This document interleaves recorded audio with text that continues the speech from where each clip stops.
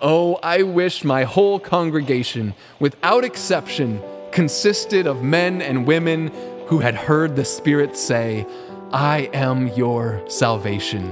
What happy hymns, what happy prayers. You might go home to some poor single room. You might go to a scantily furnished house and to a table that has barely bread upon it. But happy men, happy men. Better would be your dinner of herbs than a stalled ox without confidence in Christ. Better your rich poverty than the poverty of the rich who have no faith in Jesus.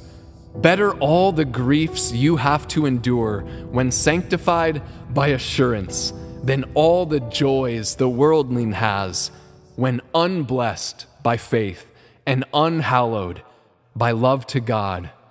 I can say now, grant me the visits of thy face, and I desire no more.